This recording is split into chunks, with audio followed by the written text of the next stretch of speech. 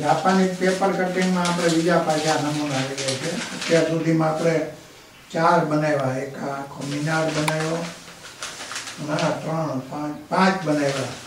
કમળ બનાવ્યું. ચરુનું વૃક્ષ બનાવ્યું. અને તોરણ બનાવ્યું. તો એકમાં ત્રણ ગયા હતા ને આમાંય ચાલે આપણે એકમાં ત્રણ પાછા કરીએ. પણ એના કટિંગ આપણે જુદી જાતના બનાવીએ.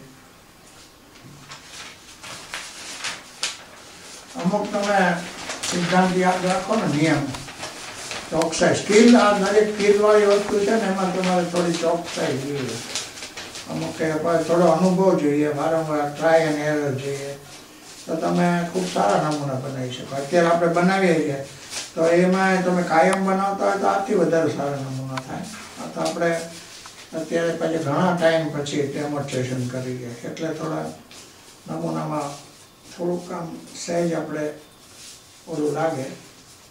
પણ છતાં પહેલા પ્રયત્ન સરસ થાય છે. હવે આપણે જે કાપા મૂક્યા હતા, વચ્ચે મૂક્યા હતા, પછી એક જ મૂક્યા હતા, હવે આ છેલ્લે કાપા મૂકીએ. તો એમાંથી પણ ઘણી વસ્તુ આપણે બનાવી શકશું.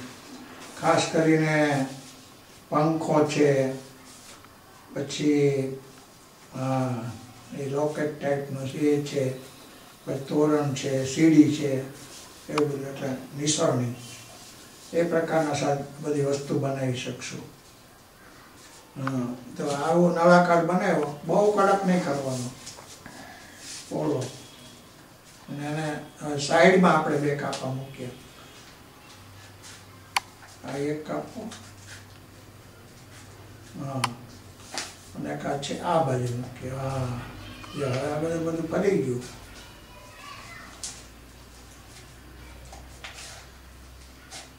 ખાતર પણ આપણે બજારમાં સાદી વપરાય ને લીધી છે. કે બધા આગળ ભારે ખાતર ક્યાંથી હોય? એ તો તો તમે વધારે મોટા નમૂના બનાવી શકો. અને પેપર પણ આપણે છાપવાના એટલા માટે લીધા કે બધા લોકો કરી શકે. બધું ખર્ચા હોય ને તો ના થઈ શકે. બધી વસ્તુ ખર્ચા જરૂરી નથી. શિક્ષણ છે ને એ બિલકુલ બિન ખર્ચાળ હોવું જોઈએ. આ તો બધા મોટા મોટા મકાનો હોવા જોઈએ ફર્નિચર હોવા જોઈએ, મોટી પ્રયોગશાળા હોવી જોઈએ. જવા અહીંથી વચ્ચેથી કાપી નાખીએ. એ આપણે એક બીજો પ્રયોગ કરીશું. સાઈડમાં કાપ મૂકીને કરી દઈશું. એમાં હવે જુદું થશે. કાપી નાખવાનું. તો નમૂનામાં થોડો વિવિધતા લાવી શકો તમે.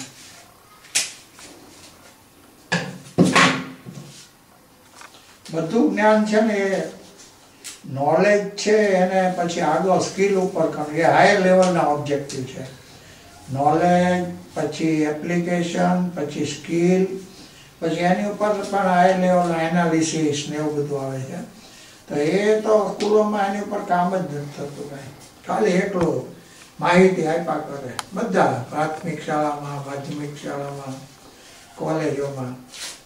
કેટલાક શિક્ષકો તો અનટ્રેન હોય છે. એને આવું કંઈ જોયું methodology of ટીચિંગમાં have zero how to teach કન્ટેન્ટના માસ્ટરો પીએચડી હોય તો શું કામના મોટા મોટા પીએચડી હોય કન્ટેન્ટના પણ એને પાસે જ્ઞાન છે. આમાં માણસ સુધી કેમ પહોંચાડવું એ તો કંઈ એને આવડતું નથી. એટલે એ તો એમાં તો ઝીરો છે. એટલે મેં તો એક લેખ લખેલો છે. કોલેજના શિક્ષકોને મોટા મોટા પગારો આપે છે, યુજીસીના મોટા ગ્રેડ આપે છે અને હાઉ ટુ ટીચમાંથી લોકો ઝીરો છે. અથવા મેથોડોલોજી ઓફ ટીચિંગ એ લોકોને કેટલી વસ્તુની ખબર નથી. શિક્ષણની પદ્ધતિઓની ખબર નથી. શિક્ષણના માધ્યમોના ઉપયોગની ખબર નથી. પ્રવિધિઓની પ્રયોગ ખબર નથી. પ્રયુક્તોની ખબર નથી. એટલે અમે શિક્ષણમાં જે લોકોએ આવું બધું મેળવેલું છે, એને તો એમ થાય છે કે આ લોકોને તો કાં તો એને તૈયાર થઈ જવું પડે. એક બે સમર ઇન્સ્ટિટ્યૂટ ને એવું બધું ફરજિયાત કર્યું, પણ એ કંઈ કોઈ કરતા નથી. એટલે જેમ મોટા મોટા શિક્ષક એમ એકલો કન્ટેન્ટનો માસ્ટર. માહિતી તો એને પહોંચતી જ નથી. એ તો એજ્યુકેશનલ ટેકનોલોજીમાં કહેવાનું છે.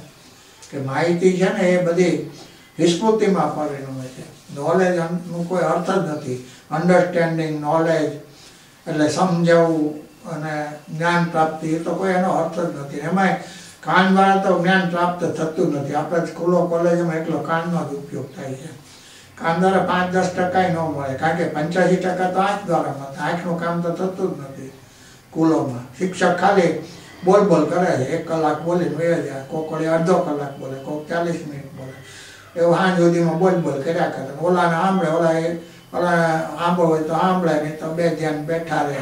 કોઈ પ્રશ્નોત્તર ન થાય, કોઈ એક્ટિવિટી ન થાય, કોઈ પ્રયોગ ન થાય, કોઈ પ્રવૃત્તિ ન થાય, કોઈ ડેમોન્સ્ટ્રેશન ન થાય. કોઈ માધ્યમો દેખાડવામાં ન આવે, કોઈ જુદી મેથડ વાપરવામાં ન આવે. એમના એની પાસે નોલેજ છે એ હોકી નાખે. હોકી નાખેલું બધું ને આમ બગાડે બધું, બગાડ કરે. ઓલાને કંઈ આવડે જ નહીં છોકરાઓને.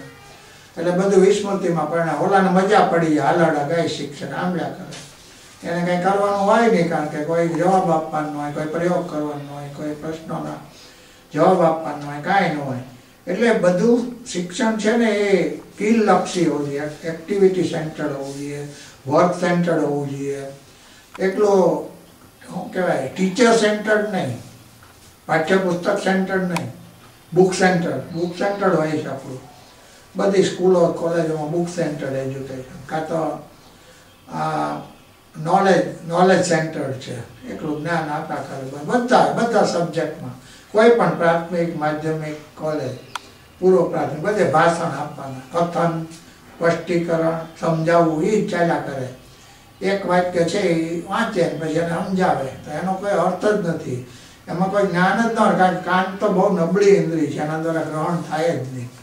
એટલે બધું નકામું જાય. તો એને ખાલી ડિસિપ્લિન હોય એટલે બેઠા રહે. એને કોઈ નોલેજ ન મળે કાંઈ. એટલે એ બહુ આ સ્કિલ સેન્ટરનો એટલા માટે આપણે બધા ડેમોન્સ્ટ્રેશન કરીએ છીએ, પ્રયોગો કરીએ છીએ. બિલકુલ મનોરંજક. અને બિન આપણે તો કંઈ બિલકુલ એમનેમ કરીએ છીએ. પછી એને સીડી બનાવીએ છીએ, ટીવીમાં આપીએ છીએ, બધું કરીએ છીએ. અને એને એને આપણે અનેક રીતે કન્વર્ટ કરીએ છીએ. આ વચ્ચે ફિલોસોફી આવી ગઈ થોડી. પણ આ જો આપણે જુદો પ્રકાર બનાવી રહ્યા છીએ આમાં એક બાજુ એમનો રાખવાનો બીજો ભાગ ખેંચવાનો.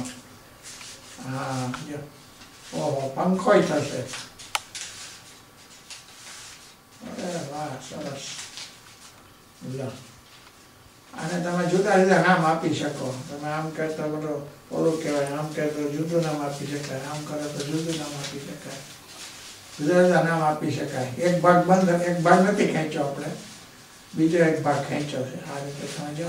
અર્થ સરસ છે. પંખો થયો, અથવા લોકેટ થયો, અથવા તો ઓલો જે કહેવાય, આ બધા હરીફાઈઓ થાય છે ને?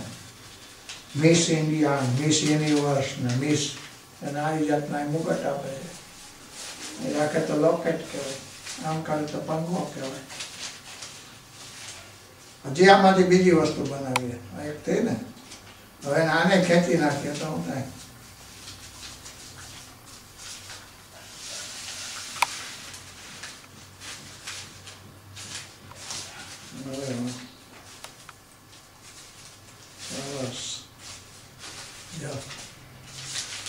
સરસ જો હવે સીડી થઈ